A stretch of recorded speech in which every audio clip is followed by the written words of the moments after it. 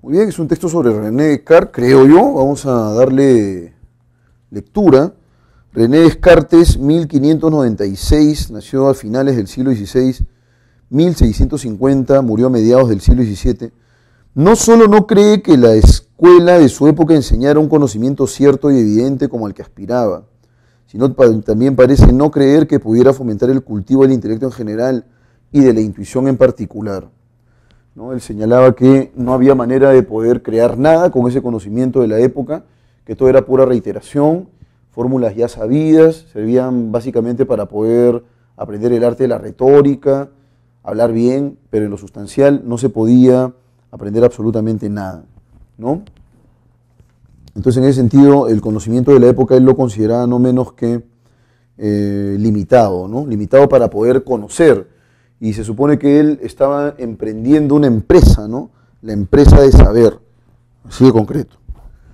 Entonces, queridos cachimbos, continuamos con la lectura del texto. Dice lo siguiente aquí. Eh, sabemos que la formación escolástica de la época daba la impresión, daba especial importancia al ejercicio del intelecto y que proporcionaba dos vías para ello. El estudio de la lógica ¿no? y la práctica de las disputaciones. Pero para Descartes ambas presentaban serias limitaciones. La lógica escolástica estaba basada en el organón de Aristóteles, aunque esencialmente se reducía a la enseñanza de un conjunto de reglas orientadas a la memorización. De manera que el alumno pudiera reconocer si un silogismo era válido o no. En opinión de Descartes, esta lógica de escuela no solo tenía una utilidad extremadamente limitada, sino que además sus reglas contribuían más a fomentar la confusión que la claridad. De ahí que afirme que sus silogismos y la mayor parte de las demás instrucciones que da más sirven para explicar a otros las cosas ya sabidas o incluso como el arte de Lulio para hablar sin juicio de las ignoradas que para aprenderlas.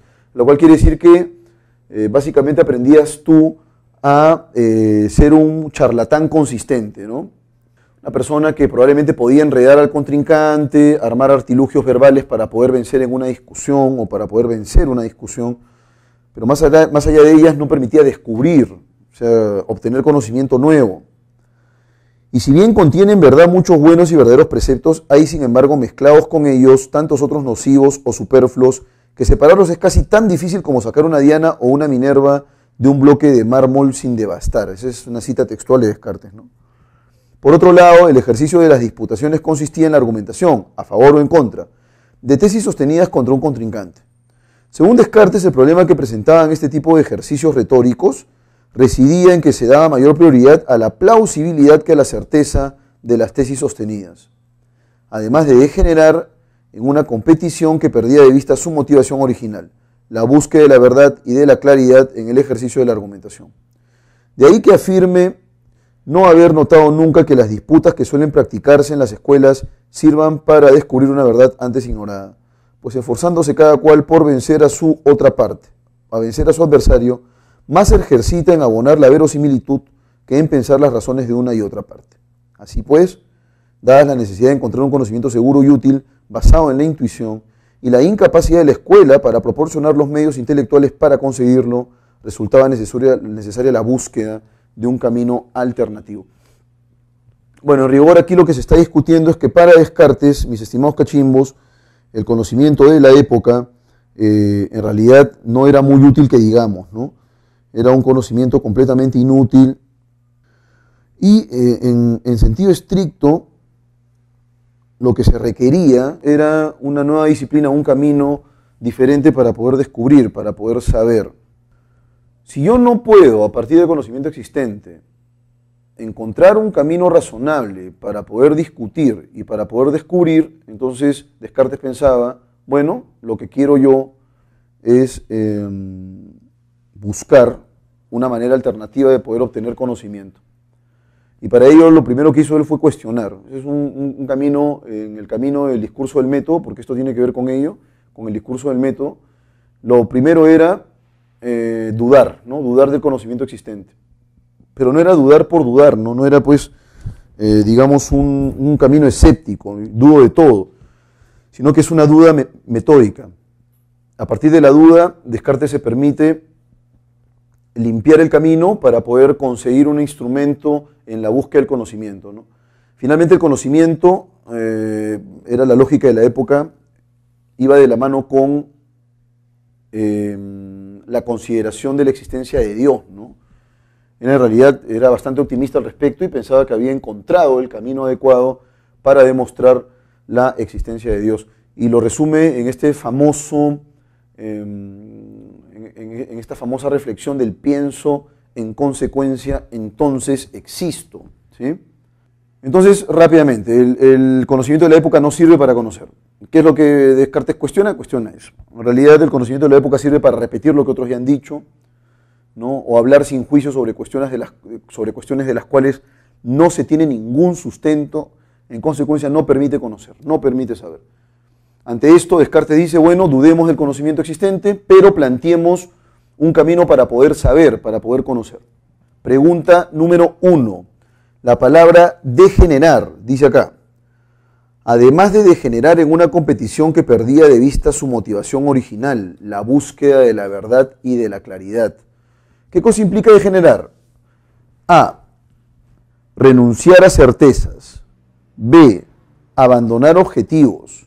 C. Rechazar la aceptabilidad. D.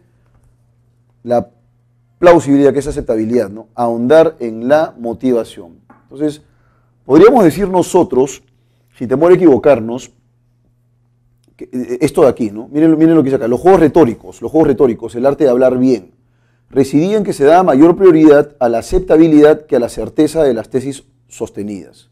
¿no? Además de degenerar en una competición que perdía de vista su motivación original, ¿no? la búsqueda de la verdad. Entonces era la búsqueda de la verdad en primer lugar y ese objetivo se desvirtuaba. Entonces eh, eh, degenerar directamente implica el abandono de objetivos. Pero también, mi querido Cachimbitos, podría implicar renunciar a certezas. Básicamente podría ser eso también, porque renuncias al objetivo que es justamente la búsqueda de la verdad, pues. Y si abandonas ese objetivo, también podría implicar, no me está diciendo aquí significa, sino más bien que implica, implica la renuncia a las certezas también. Entonces vamos a colocar lo siguiente aquí, ¿no? En lugar de certezas vamos a colocar la renuncia a las dudas. ¿Estamos de acuerdo? Y eso sí no, sería posible que implique, ¿no? Mucho cuidado con eso. Vamos ahora con la pregunta número dos. Dice acá, del texto se colige que la intención principal de René Descartes es, ¿cuál sería, mis queridos cachimbitos, la oración medular, ¿no? ¿Cuál sería la oración medular? Examinar las disputas y em, la lógica como ejercicios para el desarrollo del intelecto en la escuela escolástica criticar la lógica escolástica por haber limitado los alcances del organón de Aristóteles a un conjunto de reglas, argumentar contra la enseñanza memorística e infértil de la lógica promovida por las escuelas escolásticas. Entonces vamos con la A primero. ¿ah? La intención principal de Descartes, y ya se les había dicho a ustedes, es, ya que no tengo ningún camino actual para poder descubrir, para poder conocer, para poder obtener conocimiento, el objetivo de Descartes es puntual debo entonces yo crear mi propia vía, ¿no? mi propia vía para conocer. Entonces, la intención principal, A, examinar las disputas y la lógica, no, esa no es la intención principal. Por supuesto que él cuestiona el conocimiento de la época, pero eso no es el objetivo medular. El objetivo medular es definir un camino para poder saber. Criticar la lógica escolástica por haber limitado los alcances, no, tampoco, no, no, tiene, no tiene en rigor como objetivo medular criticar a la escolástica. Lo que él quiere es conocer o saber argumentar contra la enseñanza memorística infértil de la lógica promovida por las escuelas escolásticas. Esa realidad no es la intención medular. Para poder obtener el, objetivo medular, sí se tiene que cuestionar. Explicar por qué éste decidió buscar un camino alternativo. Aquí está la clave, pues, a la escolástica para hallar un conocimiento cierto y evidente. El, el objetivo fundamental es ese, ¿no? La búsqueda del conocimiento, la búsqueda del saber. Se deduce que las disputaciones las, peleas al amparo de la formación escolástica referidas en el texto tenían como objetivo principal la credibilidad, la dilucidación, la predicción, la explicación. Él, por ejemplo, consideraba que este arte del buen hablar, la retórica, servía para poder ganar una contienda, pero eran disputas que no tenían como objetivo fundamental la búsqueda de la certeza. En tanto que tal, lo que ellos promovían era básicamente eh, aparentar ser veraces, no ser consistentes. Lo que se buscaba es eso, ¿no? Ser digno de fe o de crédito. ¿no? Que te den crédito justamente por lo que estás hablando. Y en ese sentido, eh, las disputaciones al amparo de la formación escolástica tienen como objetivo principal la credibilidad. No me importa en realidad si lo que estoy diciendo es cierto o falso, lo que me importa a mí es que me, que me crean. Así de concreto. Vamos ahora con la pregunta número 4. Para el pensamiento cartesiano, sería incompatible considerar que una eximia, eximio es el excelso, ilustre, pamado, una eximia disputa filosófica prescinda de la arrogancia intelectual, la vana erudición, las incoherencias, la verdad objetiva. Entonces, dentro de la lógica de Descartes, una eh, disputa eximia debería prescindir de, debe prescindir de, o sea, debe dejar de lado qué. Empecemos con A. Debe dejar de lado la, debe dejar de lado la arrogancia intelectual. ¿Eso es compatible o incompatible? Eso es compatible. B. La vana erudición. Sí, la vana erudición se tiene que dejar de lado, así que eso es compatible. Debe dejar de lado las incoherencias. Eso también es perfectamente compatible para Descartes. Hay que dejar de lado eso. Hay que dejar de lado la verdad objetiva. Eso no, pues eso no, eso no está, no se puede negociar. Él lo que quiere es conocimiento certero, conocimiento válido. Entonces la verdad objetiva no, no puede ser negociable. Cinco, si Descartes hubiese aspirado principalmente a un conocimiento verosímil, ¿no es cierto? Un conocimiento veraz, convincente, ¿sí? Entonces habría, no importa la, verdad, sino un conocimiento que sea creíble, nada más que eso. Habría participado en las disputas con mucha vehemencia, considerado la escolástica como el mejor camino, pugnado por conocer con minuciosidad y el organón, cultivado sostenidamente el intelecto y la intuición. Entonces, si, si el objetivo es este, el conocimiento que suene fidedigno, que suene creíble, aún a costa de querer conocer, la clave correcta es la B, considerado a la escolástica como el mejor camino. Texto número 2, mis estimados cachimbitos, texto número 2, es un texto dialéctico, ya más o menos lo vamos intuyendo, un texto con eh, preguntas puntuales, son cinco aquí, así que vamos a intentar develarlo. Dice lo siguiente. Según el Instituto Peruano de Economía, la minería representa más del 50% de las divisas, el 20% de la recaudación fiscal, el 11% del Producto Bruto Interno, la mayor parte de la inversión extranjera, entre otros destacados factores macroeconómicos. La minería tiene una presencia importante en el país, genera un gran impacto en el resto de la economía, comenta Carlos Casas, ex viceministro de Economía. Bueno, aquí por si acaso, señores, eh, tiene que estar esto junto, ¿no? Ex viceministro todo junto. Y actual director del Centro de Estudios sobre Minería y Sostenibilidad de la Universidad del Pacífico. Para Casas, la disminución de la inversión minera quizá pueda tratar de compensarse en el corto plazo con el desarrollo de infraestructura. El gasoducto al sur, el metro de Lima, la refinería de Talara demandará más de 15 mil millones de inversión, por ejemplo. Pero sería difícil suplir ese y otros impactos positivos que se generan a mediano y largo plazo. Pretender que haya un Perú sin minería no es un escenario factible.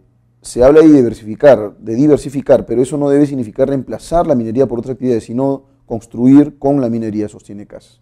Bueno, entonces eh, el texto 2A, asociado con, digamos, una posición expositivamente a favor, expositivamente, no argumentativamente, ¿no?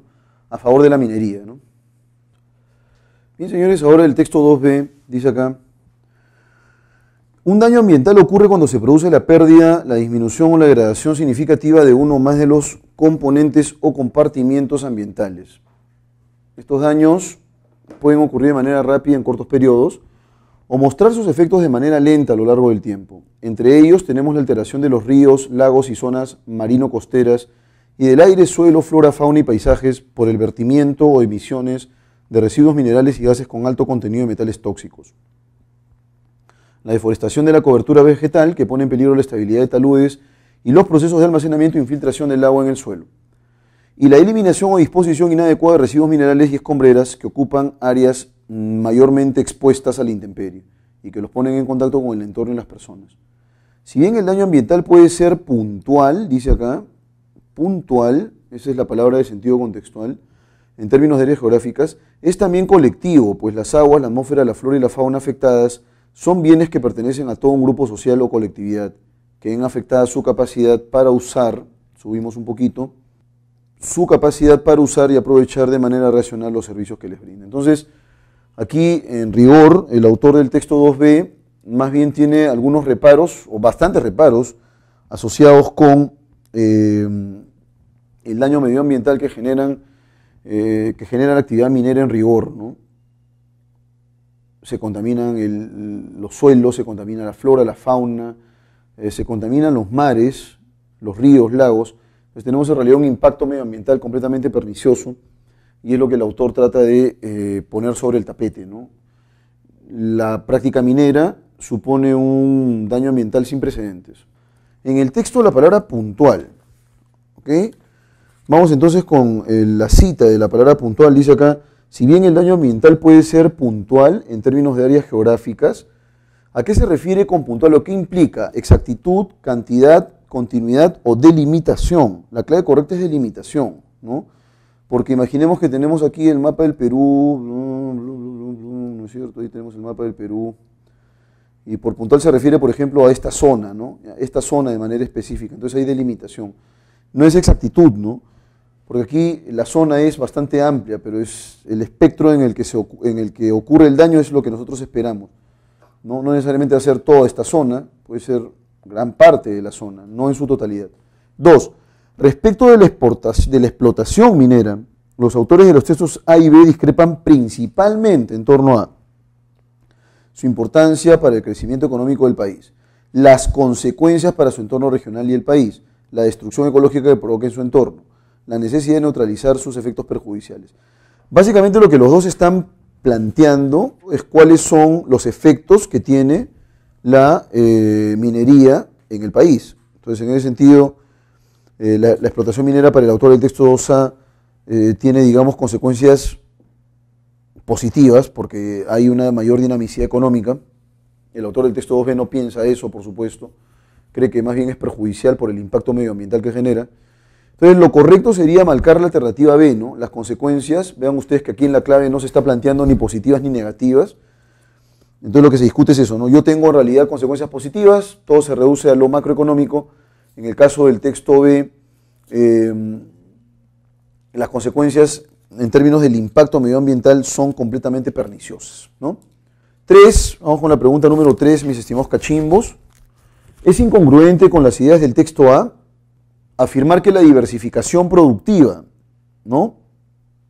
Em, digamos que la diversificación de eh, actividades de, producción, en, en, qué podría derivar? ¿no? Y nos estamos acá planteando lo que es incompatible, porque nos piden lo que es incongruente con las ideas de A, que está a favor de la minería. Entonces, debería contar con el apoyo sistemático del Estado, la diversificación productiva. Ampliaría las posibilidades de crecimiento económico, la diversificación productiva. Eh, sería un buen complemento de la, explotación minera. Y finalmente, neutralizaría los efectos nocivos de la explotación minera. ¿Cuál de estas sería la clave correcta? Vamos a eh, discutirla en este preciso momento. Arranquemos con la alternativa A. Debería contar con el apoyo sistemático del, Estado. Eh, Carlos Casas, que es el autor del texto A, reconoce que es importante la diversificación productiva. ¿No es cierto? Acá debemos buscar lo que es incompatible. Entonces, ¿debería contar con el apoyo sistemático del Estado? Sí, considera que eso es, eso es válido. ¿no? Debe haber una mayor diversificación en cuanto a la producción ampliaría las posibilidades de crecimiento económico también, porque tienes más posibilidades de crecer, ¿no?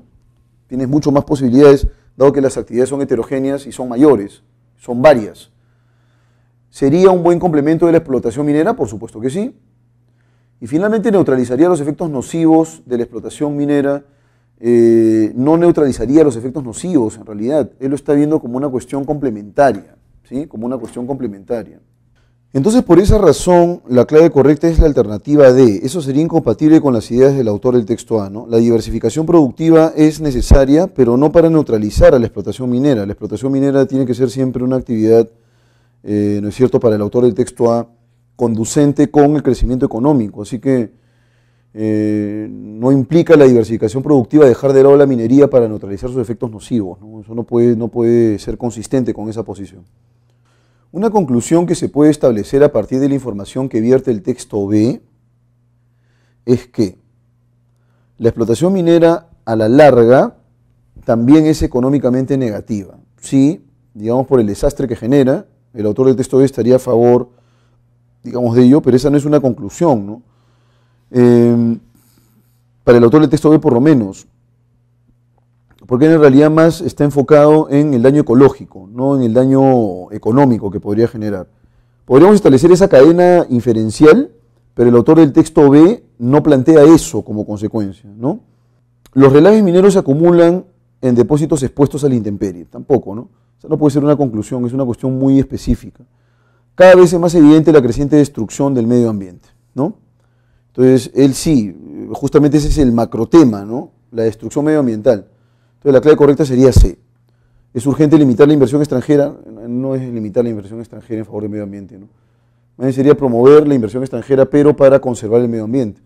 Cinco, si el Estado aprobara una legislación para controlar estrictamente la explotación minera, bueno, acá ya se han rayado, están pensando en el, en el formato anterior del examen, esto lo vamos a eliminar, son cuatro claves nada más.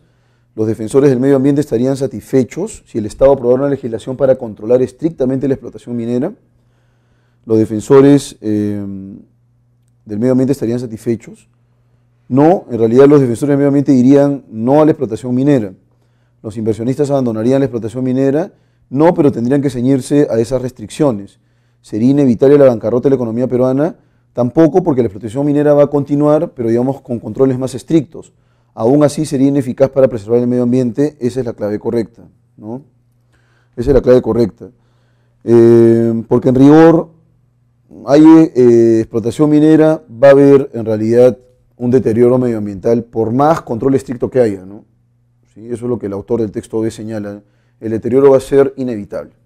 Bien, señores, vamos ahora con el texto 3, último texto de la sección B. Lo abordamos inmediato. Adam Smith comprende muy bien que las ventajas productivas de la división del trabajo representan solo un lado de la historia. El otro, su aspecto más negativo, también debe ser considerado, pues en la medida en que la división del trabajo avanza, aparece más clara entre cada persona la necesidad de concentrar sus intereses y cultivar sus talentos en dominios cada vez más restringidos. Eh, a mayor división del trabajo, aumentan nuestras capacidades productivas, colectivas y a ello corresponde una actividad productiva individual cada vez más restringida. Es claro que las habilidades y actitudes desarrolladas en cada persona son primordialmente una función específica del trabajo que ella realiza.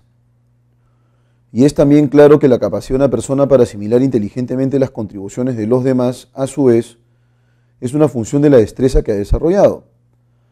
Si por lo tanto mi principal actividad en la vida limita el desarrollo de mi sensibilidad hacia una función particular, en esta misma medida estoy culturalmente mutilado. Y de este modo nos enfrentamos a un agudo dilema. El permanente incremento de la especialización que aumenta la riqueza de las naciones tiende también a hacer a cada especialista cada vez menos apto para apropiarse de esa riqueza más allá de las fronteras de sus dominios. Smith propone una salida no dramática a este conflicto. Por un lado, para él no existe la posibilidad de un retraimiento histórico, un retorno a los tiempos en que la división del trabajo era menos definida. Pues a pesar del hecho de que la división del trabajo hace a cada persona más y más limitada con relación a la totalidad de la cultura material que la rodea, esto sin embargo incrementa la riqueza colectiva, el Producto Nacional inmensamente. Como resultado, la gente es en sentido absoluto más rica de lo que sería si la división del trabajo tuviera un desarrollo menos pleno. Es decir, a pesar de la circunstancia de que cada persona, en relación a la totalidad de la cultura que la rodea, es más pobre de lo que fueron sus más primitivos predecesores, en relación a la totalidad de la cultura material en la cual ellos estuvieron inmersos, a pesar de ello, cada persona es, sin embargo, más rica en términos absolutos, o sea, tiene una vida más cómoda que la de sus mismos predecesores. El incremento absoluto de la riqueza se obtiene a un alto costo, el un decrecimiento de la riqueza de las facultades individuales en relación a nivel cultural disponible. Sin embargo, este es un incremento de la riqueza absoluta. Un retraimiento histórico está, por lo tanto, fuera de discusión. El efecto mutilante de la división del trabajo debe, por consiguiente, ser tratado como un mal necesario.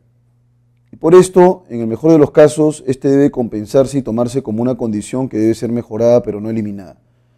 Smith sugiere una estrategia para morigerar, es decir, para moderar las implicaciones negativas de la división del trabajo. Deberíamos proveer, por lo menos, de un nivel educativo mínimamente decente para todos. Esto es cierto. las vidas de las personas están siendo circunscritas más y más por el proceso de trabajo per se, pero sus horizontes pueden ser ensanchados en el salón de clases. Allí cada persona tendrá garantizado algún entretenimiento y conocimientos en áreas que van más allá de sus pensamientos y sus intereses ocupacionales.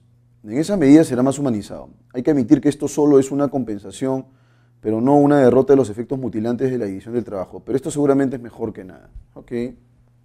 Entonces, mis estimados cachimbos, acá el texto trata acerca de la lógica de Smith, acerca de cómo el trabajo deshumaniza, cómo el trabajo muy especializado contribuye con la riqueza, pero va en desmedro de la eh, formación humanista que debe tener una persona, ¿no? y que amplía sus horizontes cognitivos, sus horizontes de pensamiento. Entonces Adam Smith propone una, una posibilidad, que es la posibilidad de una mayor cultivación, ¿no? es decir, una formación eh, paralela al trabajo, que es una fuente de riqueza, eh, pero sin soslayar, sin obviar esta formación humanística que es para él muy importante. ¿no? Vamos entonces con la resolución rápidamente. Las preguntas son múltiples, mis queridos cachimbos. Si ustedes tienen alguna objeción acerca de alguna de las claves, por favor extiéndanlas para poderlas discutir a través del Facebook. Uno es un buen canal en realidad para poder extender lo que ya se vio aquí. Morigerar es moderar, ¿no? Eso es morigerar. Pero aquí dice lo siguiente, ¿no? Smith sugiere una estrategia para morigerar las implicaciones negativas de la división del trabajo. No es moderar, ¿no? Sino más bien reducir. Eh, reducir el impacto. Y en ese sentido, eh, la clave correcta es mitigar, pues, que es disminuir, ¿no? aminorar. Bien, jóvenes, a continuación el, punto 2. ¿no? Ya sabemos que el tema central es este. Adam Smith propone, en rigor, que existe pues, una vertiente de división de trabajo que es obvia y que va a, tener una consecuencia puntual, que es la riqueza del, colectivo. ¿no? Sin embargo, hay un lado adverso, ¿no? un lado negativo. Y el lado negativo en realidad se decanta por el hecho de que esta división del trabajo eh, trae de la mano una mayor deshumanización. Te concentras en trabajar, trabajar, trabajar, trabajar, trabajar, la cultivación eh, individual se deja de lado y esto es por supuesto profundamente negativo. ¿no? Hay una amplia especialización, lo cual es cierto. Sin embargo, esta especialización va en desmedro de la, de la formación personal.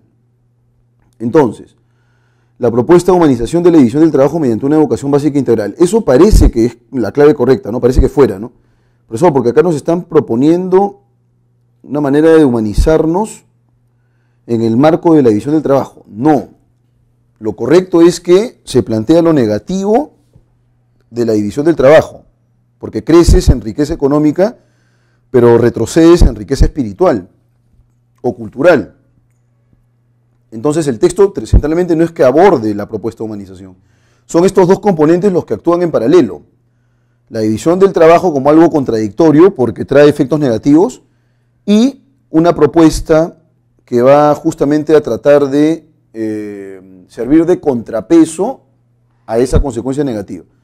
Y por esa razón tampoco puede ser la B, ¿no? La división del trabajo un mal necesario para el incremento de la riqueza absoluta. No.